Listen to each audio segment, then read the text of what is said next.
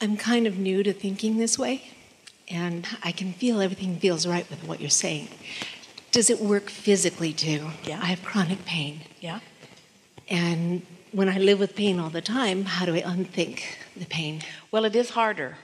Just like with our friend, it's harder to have an occupation where she's focused continually on something that we're encouraging her not to think about for a while. And so when something's hurting in your body, it's hard not to notice it.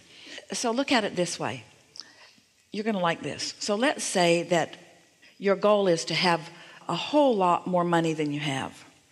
And your logic tells you that it's not just going to fall into your bank account today. But you could, in five or 10 minutes of conversation, you could find the feeling or the essence of prosperity.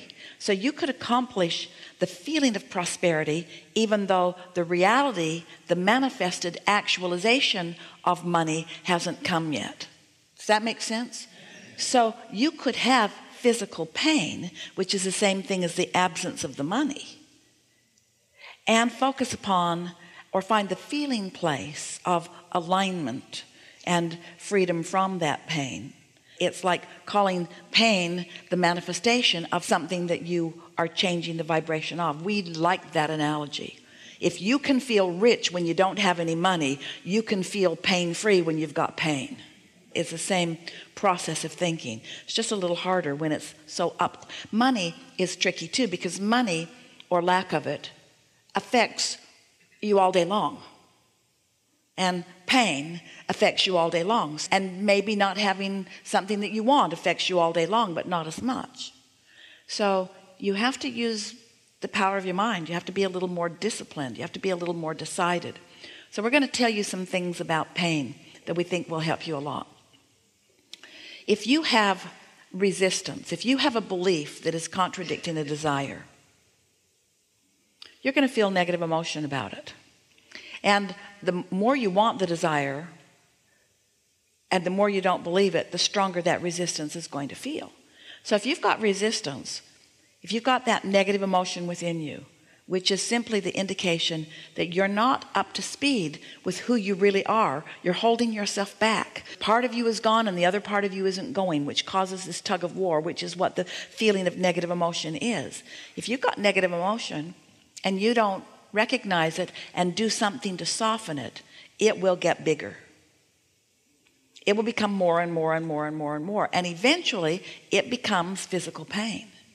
Physical pain is just an extension of, it's an indication of resistance. But it's not very helpful to someone to say, well, your pain is because you've got resistance, get rid of it. Because if you could get rid of it, you would. But it is helpful to know that you can do something about it. And the thing that is most important for you to understand oh, most people think that when they have physical pain, that there must be something really, really big and important that they are denying. And that is rarely the situation. What it is, is a whole bunch of things that you care about that you're just denying. And a lot of people are doing the same thing. You have so many beliefs that are contradicting so many desires. That's all that it is. Beliefs that contradict desires. And so now you've focused on that. When it comes up and you're actually in the moment of doing it, you'll catch yourself doing it. And then maybe, if you care about it, you can soften the thought just a little bit. Here's the other thing. Now, that was not all that helpful. Because what we just said to you is you're doing stuff and you don't know you're doing it, and that's why you hurt. So don't do that anymore. That was completely not helpful. But it is the basis. It's important to understand that. So, in that way, it has the potential of being helpful. It's just not helpful yet. But this will be helpful right away. In the same way that we're talking to you about your open circuit relative to something that you want. Your body has trillions of cells that are consciousness, that are open circuits. And when the circuits in your body are open to each other and to the impulses that are coming from your central nervous system and from your thinking system. In other words, when your circuits are open, you thrive. Open circuits are what make you intend to pick up that glass of water and be able to do it. It's what makes your body respond to your thought. Those are open circuits, you see. And so, even though you have more open circuits than not, all of you, you might be closing some of those circuits down through thoughts or beliefs that you have. So, in the same way that we were demonstrating that if you have a desire and a belief that matches it, then the circuit is wide open and the universe can deliver to you. You can get back what you want. It's just an open circuit. But if you want something that you don't believe, then it's like electrocuting yourself and you don't get it back and it doesn't feel good. And the result is negative emotion.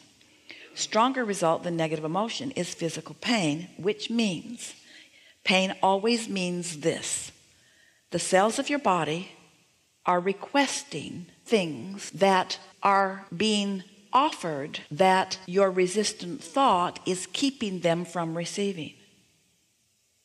So, pain means, first and foremost, helps on the way.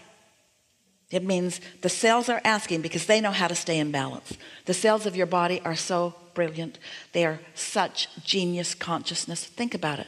Do you ever think about your body? How incredible it is? You don't lie in bed at night and keep your own blood pumping you don't make that a conscious thing that you do. There are so many things that you call unconscious, unconscious success in your body that the cells of your body are tending to. And the cells of your body are regenerating, they're becoming new over and over and over again. And so they don't hold old beliefs because they're becoming new again. But you teach them the beliefs that are hindering through your thoughts. In other words, when you think about getting older and therefore you're teaching the cells of your body things that cause resistance that don't let the circuits flow. So when your cells ask for something and the circuit is closed that equals pain. That's all that it is. And you get a few trillion cells asking and not receiving then the physical result to you is you don't feel so good. Did you hear us when we said it's not a big thing you don't have some big terrible hairy secret doubt within you. It's just a whole bunch of stuff. Like, I'd like to do that, but I can't. Something that simple. And just multiply that by a few dozen times a day, about a few hundred subjects, and then you've got resistance. That's all that it is. Is, is that why when I get really angry about something, it gets suddenly worse. I can move? No, I can move for when, a while.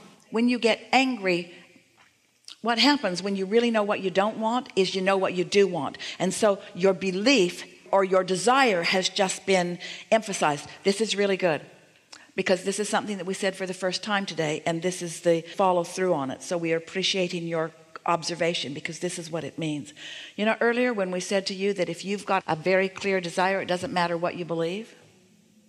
So when something happens that really made you angry because you knew you really didn't want it, it made you know you really did want it. And for a moment, the energy really flowed in a powerful way. Yeah. The desire was dominant for a moment, as you said, for a moment. Yeah. So I don't want to stay angry all the time, huh? Well, beats hurting.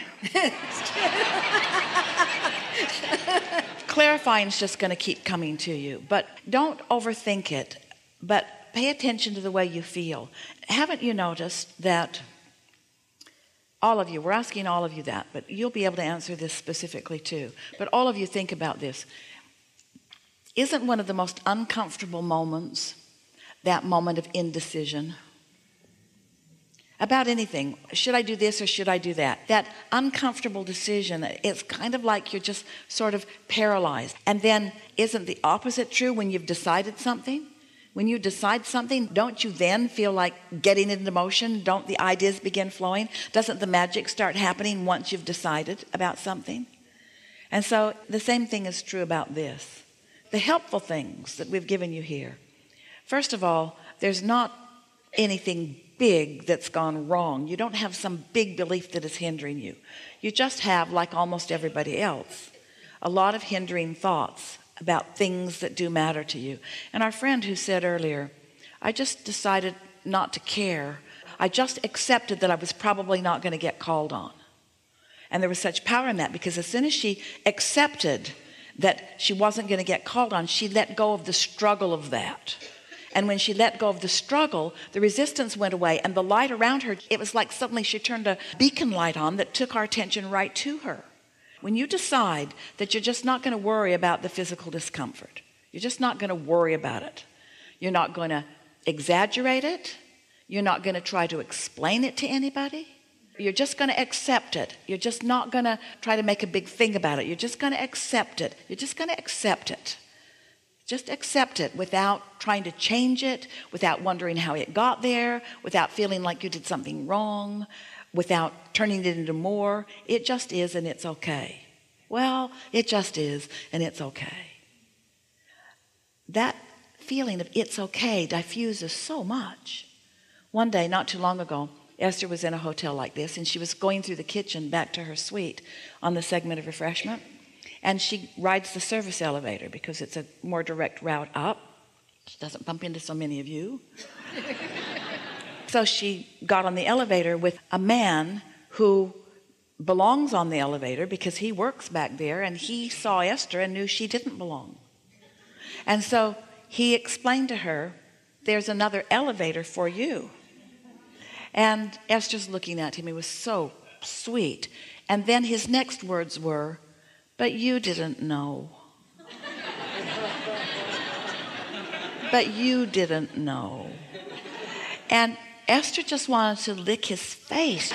She just wanted to wrap him up. She felt such tenderness and such understanding from him, not wanting to make her wrong. And she thought, oh, this is the most delicious moment that I think I've ever stood in where I'm doing something totally off limits and totally inappropriate. I could not be doing anything more wrong in this moment than being on the elevator with all the dirty clothes.